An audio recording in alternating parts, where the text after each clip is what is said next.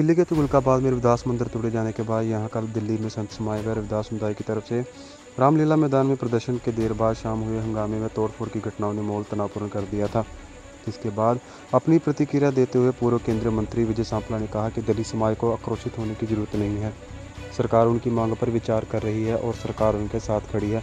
लेकिन तोड़फोड़ करना किसी समस्या का समाधान नहीं है। वहीं उन्होंने कहा कि दलित समाज धैर्य रखे उनकी मांगे केंद्र सरकार जल्द हल करने जा रही है ਸ਼੍ਰੀ ਗੁਰੂ ਰਵਿਦਾਸ ਮਹਾਰਾਜ ਦਾ ਜਿਹੜਾ ਮੰਦਿਰ ਨੂੰ ਅਮ, ਸੁਪਰੀਮ ਕੋਰਟ ਦੇ ਹੁਕਮਾਂ ਦੇ ਨਾਲ ਖੰਡਿਤ ਕੀਤਾ ਗਿਆ ਤੋੜਿਆ ਉਹਦਾ ਅਮ, ਤੋੜਿਆ ਗਿਆ ਉਹ ਜਿੱਥੇ ਪੂਰੇ ਸਮਾਜ ਚ ਆਕਰੋਸ਼ ਹੈ ਕੱਲ ਉਹਦੇ ਲਈ ਬਹੁਤ ਵੱਡਾ ਦਰ- ਧਰਨਾ ਪ੍ਰਦਰਸ਼ਨ ਹੋਇਆ ਸਾਰੇ ਇੱਕ ਲੋਕਤੰਤਰਿਕ ਮਰਿਆਦਾ ਦੇ ਨਾਲ ਅਸੀਂ ਸਾਰਿਆਂ ਨੂੰ ਅਪੀਲ ਕੀਤੀ ਸੀ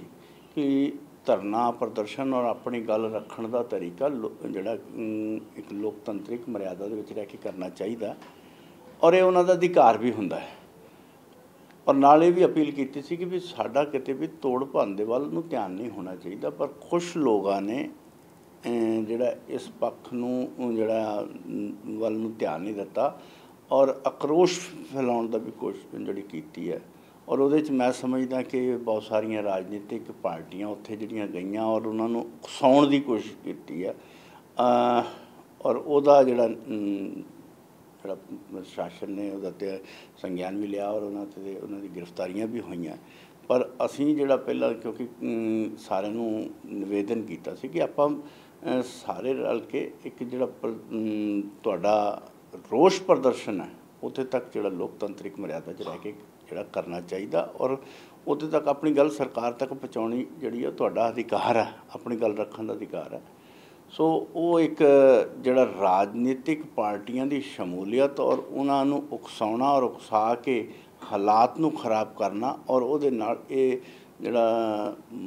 ਮੰਦਰ ਬਣਾਉਣ ਵੱਲ ਨੂੰ ਉਹਨਾਂ ਦਾ ਧਿਆਨ ਨਹੀਂ ਸੀ, ਕਿਤੇ ਨਾ ਕਿਤੇ ਸਿਰਫ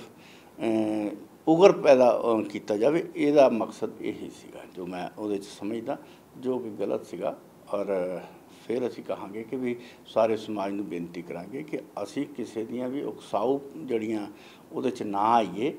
ਆਪਣੀ ਗੱਲ ਜ਼ਰੂਰ ਰੱਖੀਏ, ਪਰ ਜਿੱਥੇ ਸਰਕਾਰ ਨੇ ਇਹ ਆਪਣੀ ਗੱਲ ਰੱਖੀ ਹੈ ਕਿ ਅਸੀਂ ਮੰਦਰ ਬਣਾਉਣ ਦੇ ਲਈ ਵਚਨਬੱਧ ਹਾਂ ਔਰ ਸਾਨੂੰ, ਅਸੀਂ ਪੂਰੀ ਤਰ੍ਹਾਂ ਪ੍ਰਯਾਸ ਹੈ ਕਿਉਂਕਿ ਸਮਾਜ ਦੇ ਅਸੀਂ ਅੰਗ ਹਾਂ ਔਰ ਉਹਨਾਂ ਦੀ ਗੱਲ ਉੱਥੇ ਸਰਕਾਰ ਤੱਕ ਪਹੁੰਚਾਉਣਾ ਸਾਡੀ ਡਿਊਟੀ ਵੀ ਬਣਦੀ ਹੈ, ਔਰ ਸਰਕਾਰ ਇਹਦੇ ਲਈ ਮੰਦਰ ਬਣਾਉਣ ਲਈ ਤਿਆਰ ਵੀ ਆ ਪਰ ਉਹਦੇ ਲਈ ਕੁਝ ਕਾਨੂੰਨੀ ਪ੍ਰਕਿਰਿਆ ਜਿਹੜੀਆਂ ਉਹਨਾਂ ਨੂੰ ਪੂਰਾ ਕਰਨ ਦੇ ਲਈ ਜਿਹੜਾ ਸਮਾਂ ਚਾਹੀਦਾ ਉਹਦੇ ਲਈ ਅਸੀਂ ਉਹਨਾਂ ਨੂੰ ਸਾਰਿਆਂ ਨੂੰ ਬੇਨਤੀ ਵੀ ਕੀਤੀ ਹੈ। ਪ੍ਰਿੰਕਾ ਗਾਂਧੀ ਟਵੀਟ ਕਰ ਰਹੇ ਨੇ ਔਰ ਉਹ ਕਹਿ ਰਹੇ ਨੇ ਕਿ ਰਵਿਦਾਸ ਭਾਈਚਾਰੇ ਨਾਲ ਬੀਜੇਪੀ ਸਰਕਾਰ ਜਿਹੜੀ ਹੈ ਉਹ ਧੱਕਾ ਕਰ ਰਹੀ ਹੈ ਡੰਡੇ ਵਰਾ ਰਹੀ ਹੈ ਆਸੂ ਆਸੂ ਗੈਸ ਦੀਆਂ ਗੋਲੀਆਂ ਚਲਵਾ ਰਹੀ ਹੈ ਜਿੱਥੇ ਮੈਂ ਪਹਿਲਾਂ ਤੁਹਾਨੂੰ ਕਿਹਾ ਕਿ ਵੀ ਬਹੁਤ ਸਾਰੀਆਂ ਰਾਜਨੀਤਿਕ ਪਾਰਟੀਆਂ ਦੀ ਦਖਲਅੰਦਾਜ਼ੀ ਹੋਣਾ ਔਰ ਉਹਨਾਂ ਨੂੰ ਉਕਸਾਉਣਾ ਔਰ ਉੱਥੇ ਜਿਹੜਾ ਕਿਉਂਕਿ ਜੋ ਪ੍ਰਿੰਕਾ ਗਾਂਧੀ ਇੱਕ ਹਾਈ ਕਮਾਂਡ ਉਹਨਾਂ ਦੀ, ਕਾਂਗਰਸ ਦੀ ਇਸ ਤਰ੍ਹਾਂ ਦੀ ਟਵੀਟ ਕਰਦੇ ਆ,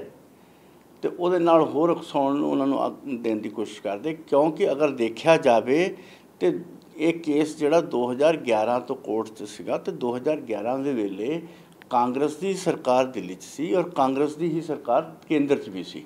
ਦੋਨਾਂ ਜਗ੍ਹਾ ਦੇ ਉੱਤੇ ਕ- ਜਿਹੜੀ ਕਾਂਗਰਸ ਦੀ ਸਰਕਾਰ ਸੀ ਔਰ ਇੰਨਾ ਚਿਰ ਉਹ ਰਹਿਣ ਦੇ ਬਾਵਜੂਦ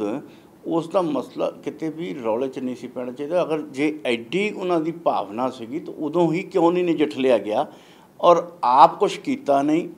ਔਰ ਜੇ ਸਰਕਾਰ ਅੱਜ ਉਹਨਾਂ ਦੇ ਲਈ ਕੁਝ ਕਰਨ ਨੂੰ ਤਿਆਰ ਆ ਤਾਂ ਉਹਨੂੰ ਹੋਰ ਸਮਾਜ ਨੂੰ ਇਹਦੇ ਲਈ ਸੰਯਮ ਵਰਤਣ ਦੀ ਅਪੀਲ ਕਰਨੀ ਚਾਹੀਦੀ ਹੈ ਉੱਥੇ ਉਹ ਭੜਕਾਊ ਜਿਹੜਾ ਉਹਨਾਂ ਨੂੰ ਭੜਕਾਉਣ ਦੀ ਹੋਰ ਕੋਸ਼ਿਸ਼ ਕੀਤੀ ਜਾਂਦੀ ਹੈ ਇਹ ਇੰਦਰਾ ਅ, ਜਿਹੜੇ ਤੁਹਾਡੇ ਪ੍ਰਿੰਕਾ ਗਾਂਧੀ ਦੇ ਟਵੀਟ ਤੋਂ ਇਹ ਸਾਬਤ ਹੁੰਦਾ ਕਿ ਜਿਹੜੇ ਕੱਲ ਉਹਨਾਂ ਨੂੰ ਭੜਕਾਉਣ ਮੈਂ ਰਾਜਨੀਤਿਕ ਦਲਾਂ ਦੀ ਕੀਤੀ, ਉਹਦੇ ਚ ਕਾਂਗਰਸ ਵੀ ਕਿਤੇ ਪਿੱਛੇ ਨਹੀਂ।